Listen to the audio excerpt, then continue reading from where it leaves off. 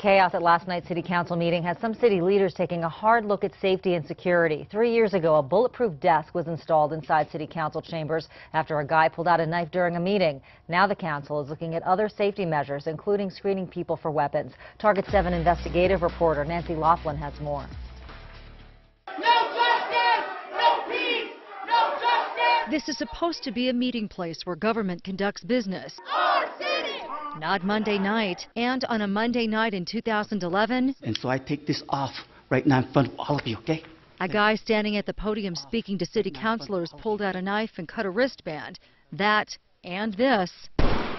Someone opened fire at a Florida school board meeting. After those events, city and county leaders had a bulletproof desk installed at City Hall. Now they're looking at doing more. I am concerned for the safety of the public. I am concerned for the safety of our staff. With that bulletproof desk, city and county leaders could duck for cover if someone's armed and dangerous. But the staff and public still sitting ducks. Right now, there are cameras and security officers at City Hall, but there is no screening for weapons, even before council meetings. I'm bringing the same issue up if we should have some metal detectors as people come through the door. City Council President Ken Sanchez says these are the people's chambers, all the people, and he says everyone should feel safe coming here. But he says after this and this, I'd hate to go to those extremes because these chambers belong to the people.